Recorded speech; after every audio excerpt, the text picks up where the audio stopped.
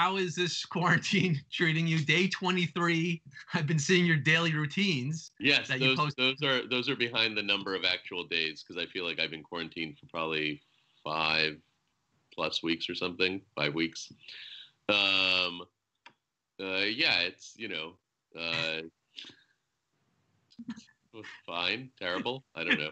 It's it's dreadful. Yeah. Yeah, I mean, I, I prefer no quarantine. I liked Right. it when I wasn't afraid to go places. These quarantine routines have been uh, have been very enjoyable. Today you woke up at 7 a.m., ate old salty mittens.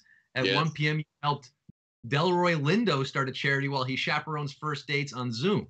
Yep, yep, that is accurate to my day. It reminded me of a joke on your very first album. I'm not sure if this was an ad lib that made its way onto the record or if it was part of your act at the time, but you said like, "This is my regular day. I wake up at two in the morning, take a two-hour run, then watch the movie Powder, drink Yeah, a bottle of vermouth, throw up, and go running again."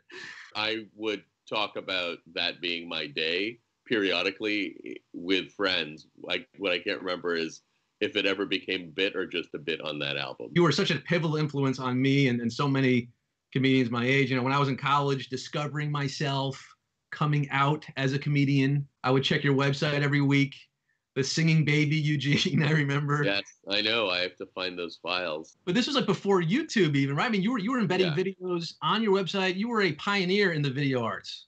Yes, yes, it's true. I did put videos up on my site. I mean, before YouTube, because uh, you could put yourself on the internet, but you couldn't put yourself on TV. So I would do whatever I could to sort of get out there. And I, yeah, had sort of this thing in me as a little boy uh, in Russia, a picture of that singing uh, songs, singing classic rock songs. Moving from Russia as a young boy and not doing very well in school, as you mentioned in your act, reading your report cards. How did you develop that confidence, that I brashness? don't know that I was. I don't know that I would describe it as confidence. I mean, I think that I really wanted to do stand up, and so I, uh, you know, did it like I think the summer after high school, and then throughout college, and then just sort of. I, I, I think I think what you think of as confidence, I think of maybe as tenacity.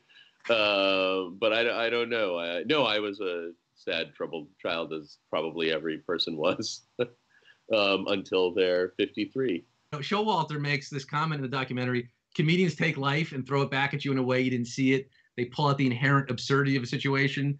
Mhm. And you know, absurdity has clearly been your trademark. I mean, it's in the title of your first album, their absurd nightclub stylings. When we live in a world that has become so irrational, so absurd itself, what is absurdity these days?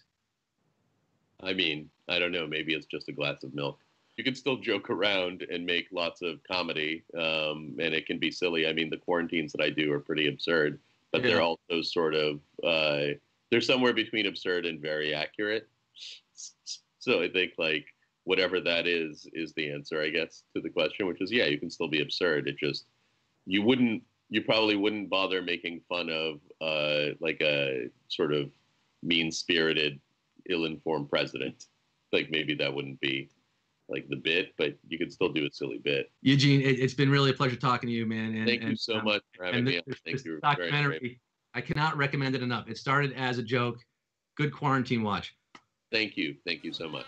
Isolate Night with Scott Rogowsky, live every Sunday through Thursday at 9 p.m. Eastern.